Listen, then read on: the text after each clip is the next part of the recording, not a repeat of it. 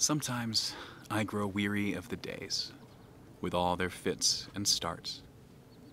I want to climb some old gray mountain, slowly taking the rest of my life to do it, resting often, sleeping under the pines or above them, on the unclothed rocks. I want to see how many stars are still in the sky that we have smothered for years now, forgiving it all, and peaceful, knowing the last thing there is to know. All that urgency? Not what the earth is about. How silent the trees, their poetry being of themselves only. I want to take slow steps and think appropriate thoughts. In 10,000 years, maybe, a piece of the mountain will fall.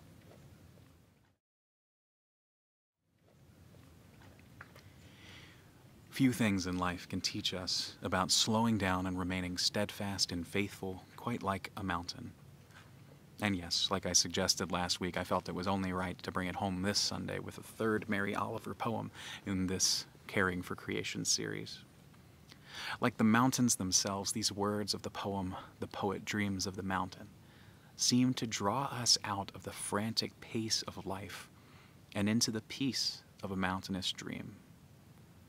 In both this poem and the lessons we hear today, we are called to slow down out of the urgency of life that is all around us and is so inherently self centered, and seek God's wisdom that endures and finds its home in the mountains. All that urgency, not what the earth is about. I've often told folks that I am more than happy to visit the city. I always enjoy vacationing at the beach, but the only place I ever want to call home is here in the mountains. There's just something about the mountains that brings peace and comfort. I think I first became aware of this phenomenon when I was in college. I came to school in Harrisonburg and, to my deep delight, was still surrounded by my beloved mountains. But this valley here is wide. And it wasn't until one of the first times that I came home home to Roanoke that I realized the Roanoke Valley is much closer. The mountains seem to embrace you there, like creation rising up to hold you close. That says nothing to diminish the Shenandoah Valley, but that moment made me realize that I never want to leave the embrace of the mountains. There is something ancient and wondrous to be found here.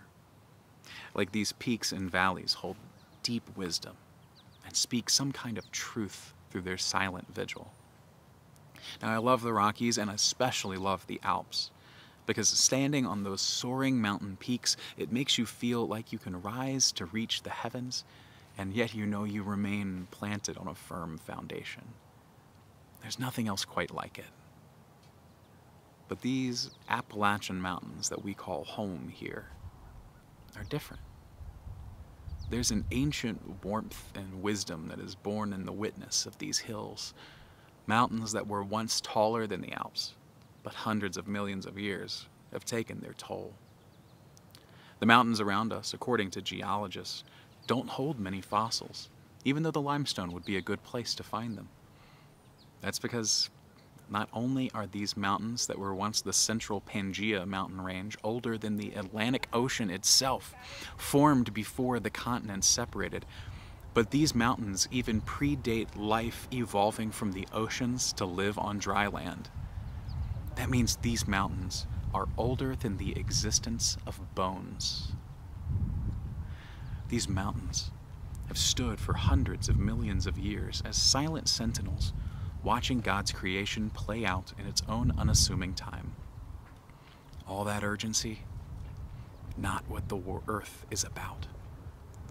So take a day, go sit up on Skyline Drive or on the Blue Ridge Parkway, and feel the gentle wisdom that's all around you.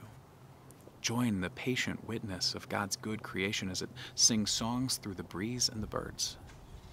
There's a holiness in these mountains as they call us to slow down and step out of the frantic pace of life and breathe in the ancient wisdom of God, our Creator. These mountains seem to resonate with the vision that we hear in Isaiah today. Many people shall come and say, Come, let us go up to the mountain of the Lord, to the house of the God of Jacob, that he may teach us his ways, and that we may walk in his paths.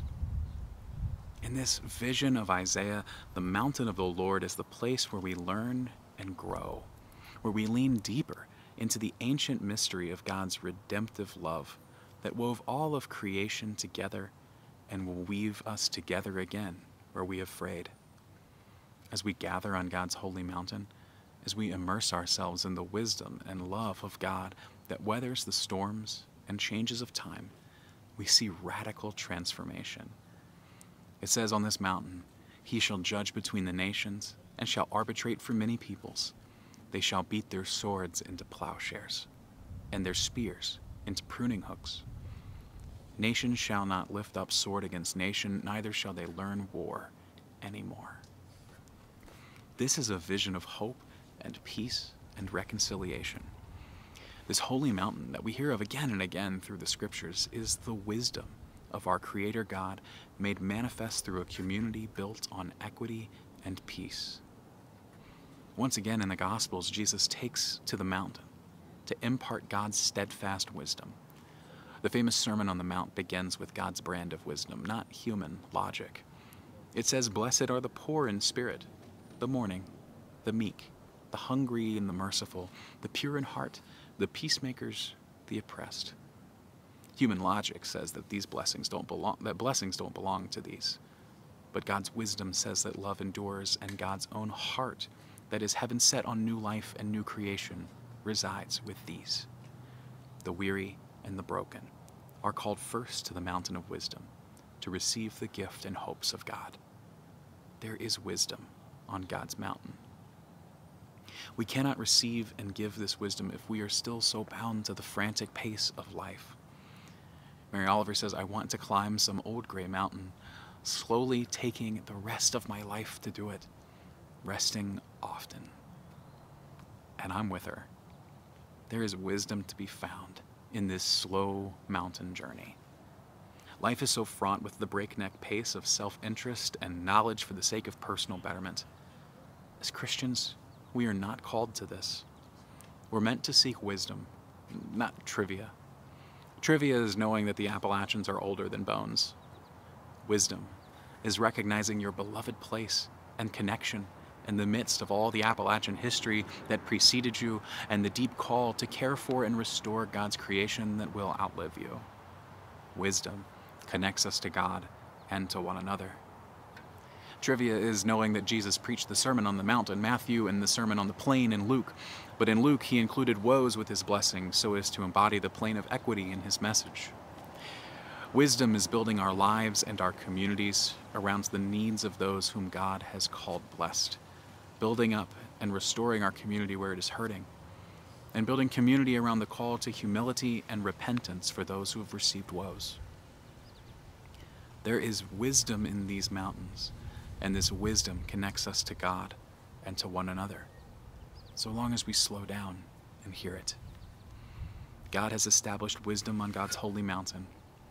Maybe that mountain will weather and change over the generations, but the foundation, the life, the sense of home and community and peace that God's holy mountain brings will endure forever. Our call as Christians is not about personal salvation or our own individual faith. Our call is rooted in wisdom that draws all people together to witness to our equal belovedness in God's eyes and the truth of our salvation, which is bound to one another. Selfishness calls us to save ourselves, while wisdom binds us to the land and people all around us in an inescapable web of destiny. As we prayerfully go forward from this series on care of creation, I pray that we've heard that message above all that message of connection and shared destiny, that message of community and the understanding that our actions affect others deeply. We can either choose to join God in acting for good sharing grace, working for the redemption of our environment and its people, or we can continue on the breakneck and lonely journey of self interest, turned inward to only contemplate our own needs and desires with little care for anyone outside our small circles of interest. I once again want to invite you to spend some time in the mountains this week. Slow down. Embrace these peaks and valleys as they embrace you and listen to the wisdom spoken here.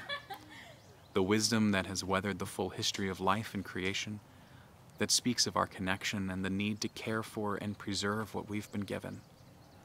This wisdom will tell us of a new way where war is no more and peace is the birthright of all. If we can learn anything from the mountains, we can learn this. God's wisdom will endure forever and ever. Amen.